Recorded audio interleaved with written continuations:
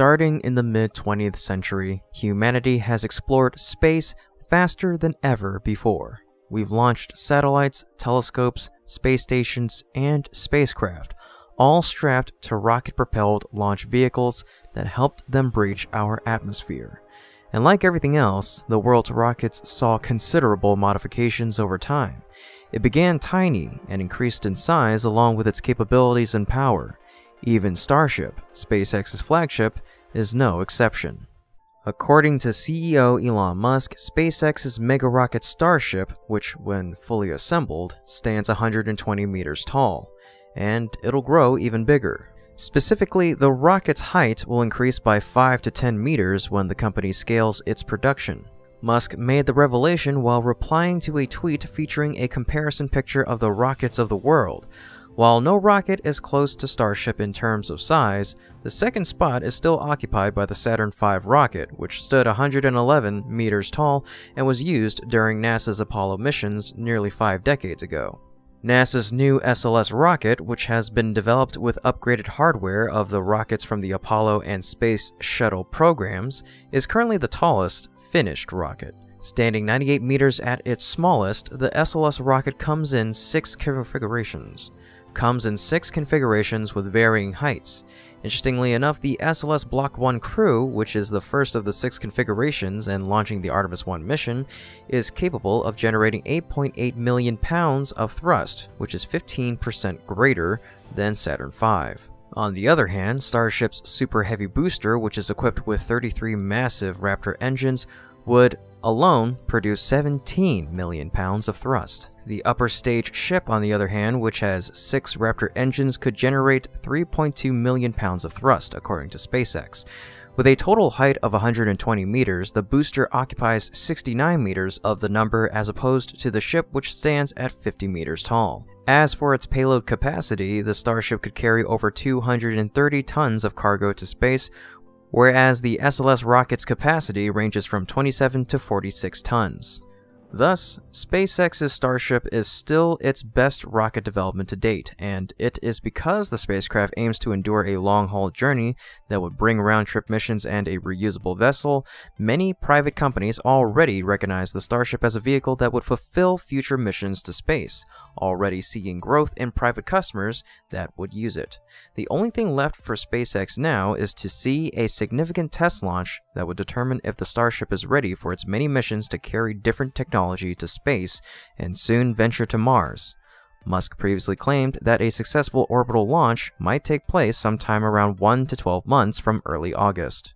People would have to wait on Starship's success before any missions take place, ensuring a readily available spacecraft for its use. In the past weeks, SpaceX conducted static fire tests on both the Starship 24 and Booster 7, the intended duo to go for the first orbital flight test since SpaceX retired 420 back in March. On the other hand, in Florida, SpaceX has just completed the erection of the Starship Launch Integration Tower, also known as Mechazilla, at the Cape Canaveral Space Force Station Launch Complex 39A.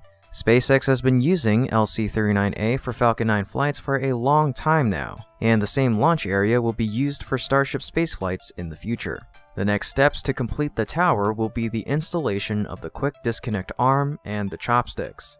The completion of the Starship Launch Integration Tower in Florida might take a few weeks to a few months, depending on the pace of work SpaceX is able to continue at this location. With the experience of erecting and integrating Mechazilla towers at Starbase previously, SpaceX should be able to smoothly carry out the same operations here in Florida. Back at Starbase, SpaceX performed a static fire test on Starship 24 last week on September 8th with all of its six engines installed. According to SpaceX, the test was completed successfully, but this time the grass around the launch pad area caught fire due to the Starship 24 static fire test. Local observers believe that plastic and other material parts ejecting from the launch pad during the static fire test are the sources of the burning grass in the surrounding area. Let's take a look at what happened in the following footage. After the Starship 24 static fire test, SpaceX conducted a many engines spin prime test on the Super Heavy.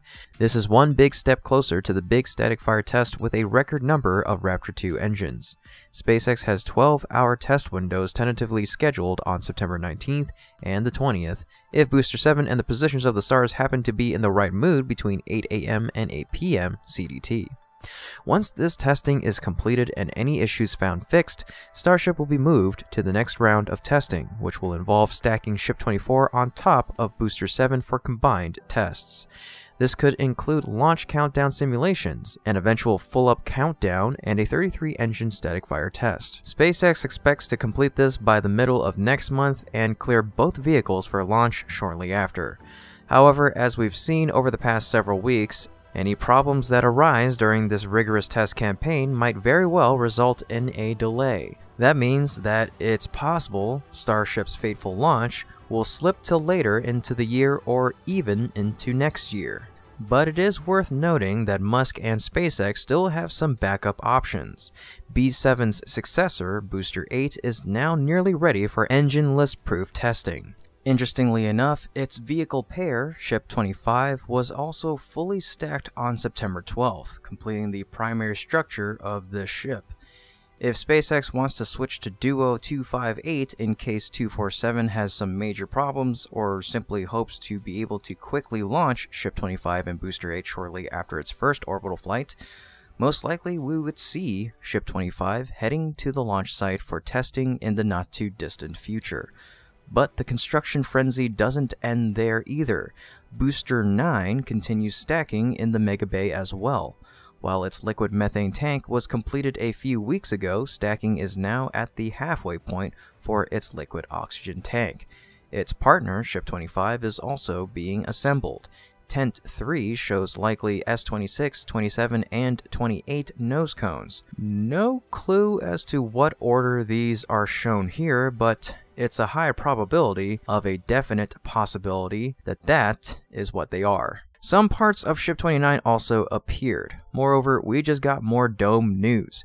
Here's what's thought to be the first observed piece of S30. We also spotted Booster 12's aft dome. Their manufacturing rate is truly unbelievable. It's amazing. Huge thanks to Kevin Randall for sharing these amazing updates. In short, SpaceX has a lot of options, and Musk has remained upbeat about the trip happening this year. But we're just gonna have to wait. That's it for today's episode. Thank you so much for watching, and if you enjoy what my team and I are doing, you can become a patron through our Patreon link in the description below. Otherwise, as always, this is Kevin with Great SpaceX, and my team and I will see you next time.